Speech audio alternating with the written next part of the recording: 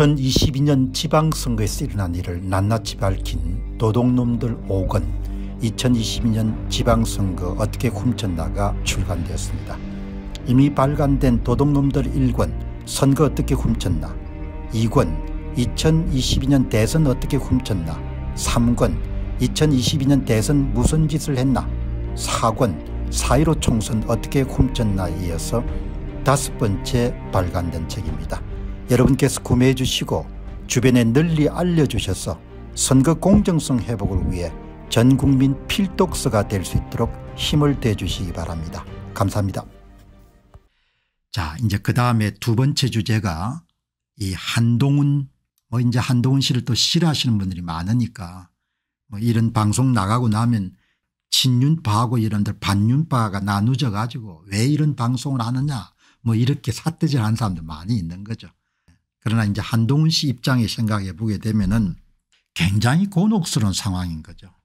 뭐 본인이 할 수 있는 게 아무것도 지금 없는 겁니다.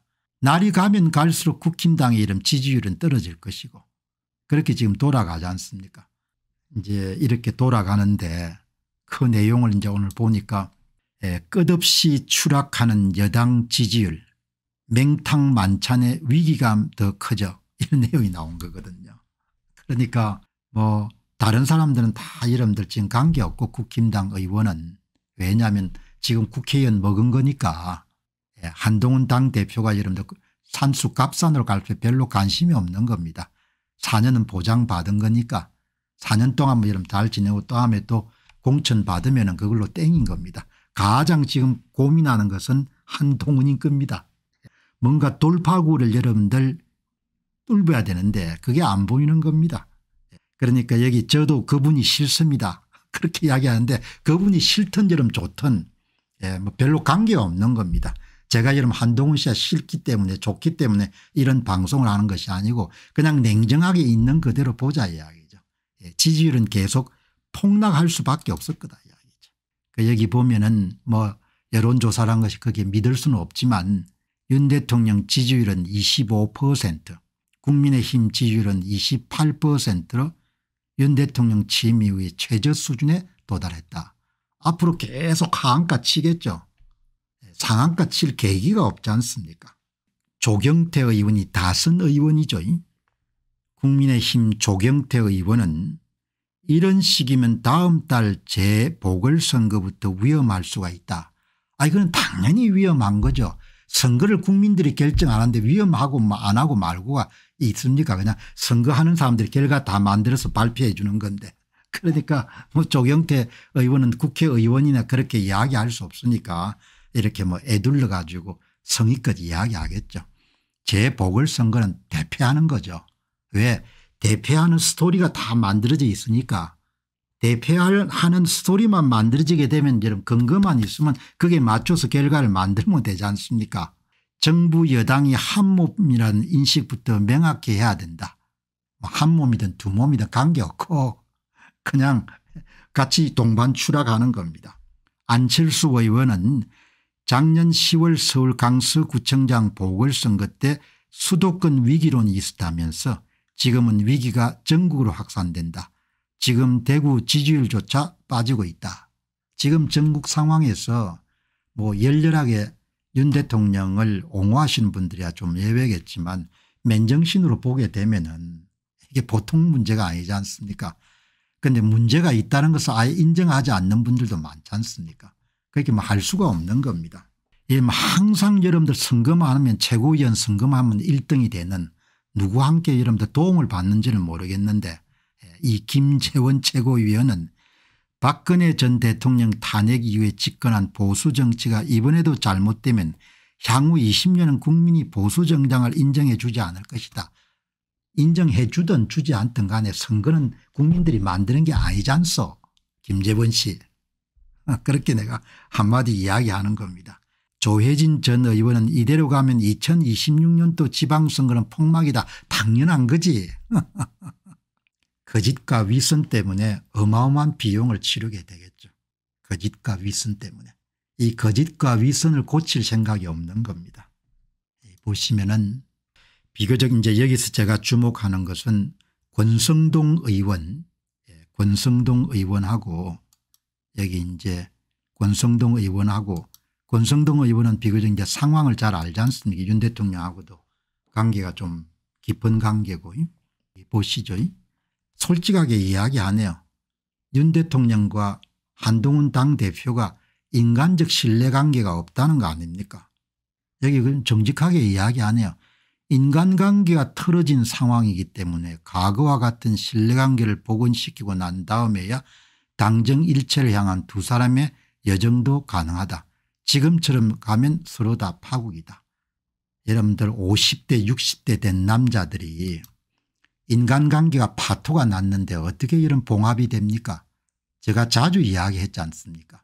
한동훈 당대표하고 윤 대통령은 신뢰관계와 파토가 이미 다 나버렸기 때문에 내가 60대 남자 입장에서 보게 되면 은 60대 남자가 여러분들 이런 저런 사연으로 인해 가지고 관계가 파토가 나면 은 20년 30년 절친 관계도 다 끝장이 나지 않습니까 그게 여자들은 관계가 어떤지 모르겠는데 남자들이랑 돌아서게 되면 은 그냥 남인 겁니다. 이렇게 나오지 않습니까 권성동 씨가 가장 잘 알 거 아닙니까 비교적. 예. 그래 권성동 씨 이야기를 제가 굉장히 의미 있게 받아들이는 겁니다. 그걸 확인하는 거 아닙니까 두 사람이 다 대의를 위해 자세를 낮춰야겠지만 앞으로 더 큰 꿈을 꾸고 있는 한 대표가 먼저 풀어야 된다고 본다. 뭐 이미 엎질러진 물이니까. 그 다음에 여러분들 아주 중요한 것이 권영세 의원.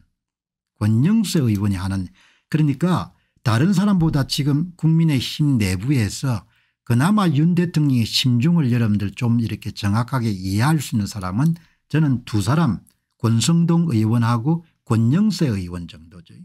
권영세 의원이 여러분 이야기하지 않습니까 대통령이 너무 강자처럼 비치는 것은 좋지 않습니다. 짧은 한 문장이지만 지금 상황을 잘 묘사하는 거지 않습니까 대통령이 너무 강자처럼 비추는 것은 좋지 않습니다. 누가 이야기한 겁니까 권영세 의원이 이야기하기 때문에 더 힘이 여러분 더 실리지 않습니까 지금은 대통령이 한동훈 대표와 독대해야 될 필요성이 있고 한대훈 대표도 노골적으로 공개하는 것은 적절하지 않습니다. 뭐 어떻든 간에 예, 대통령이 너무 강자처럼 비추는 건 좋지 않다는 거지 않습니까 뼈 있는 말이죠. 그리고 정직한 말인 겁니다. 권성동 이야기가 여러분들이 이야기한 것처럼 두 사람의 인간관계 예전과 달리 상당히 많이 손상이 됐다 이런 이야기지 않습니까 뭐 그러니까 이거를 봉합하든 뭐 봉합하지 않든 간에 본인들이 결정할 사안인 것이고 어떻든 간에 제가 갖고 있는 생각은 남자 나이가 60이 이렇게 돼 가지고 그것도 완장찬 상황에서 옛날에 데리고 있던 사람하고 여러분들 완전히 관계가 틀어졌는데 그걸 봉합한다 무슨 초강력이 여러분들 악교가 있으면 될까 모를까 제가 보는 남자 입장에서는 불가능한 거죠. 불가능한 주문을 하는 겁니다. 그러니까 이런 상황에서 좀 끝까지 가는 수밖에 없는 겁니다. 한 사람은 지금 상황 문제 없고 김건희 여사건 문제 없고 그다음에 의료 사태 문제 없고 그렇게 생각하는 거지 않습니까 한 사람은 예, 의료 사태 심각한 문제고 김건희 여사건 심각한 문제고 그렇게 받아보는 겁니다. 완전히 서로 다른 상황에 대한 판단을 갖고 있는데 봉합을 어떻게 하겠습니까 봉합이 불가능한 거죠. 예, 여기 보시면은 어 이제 어제 국정 상황이 심각한 거냐 예, 여기에서 5600명 정도가 답변했는데 물론 뭐 김순덕 칼럼을 예를 든 거는 그냥 기사화된 거를 그냥 예를 든 것이고 상황은 현재 국정 상황이 심각한 거로 보냐 보지 않느냐 이렇게 여러분들 설문조사에 68%가 국정 상황이 심각하다고 보는 물론 대표성은 없습니다. 그러나 5만 6천 명 정도가 참여했으니까 한번 주의 깊게 볼 필요는 있는 거죠. 국정 상황이 심각하지 않다는 29%밖에 안 되는 겁니다. 이게 가장 중요한 문제는 여기서 출발하는 겁니다. 국정 상황이 심각하다고 볼 건가 국정 상황이 심각하지 않다고 볼 건가 이 차이가 한동훈 대표하고 윤 대통령의 격차라고 보면 되는 것이고 윤 대통령 국정 상황이 전혀 문제가 없다고 보지 않습니까 예, 그래서 다시 이야기하게 되면 은윤 대통령 지지도나 국힘당의 지지도가 반등될 수 있는 그런 계기는 예, 현재로서는 상당히 어려운 것 같다. 그렇게 제가 결론을 내릴 수가 있는.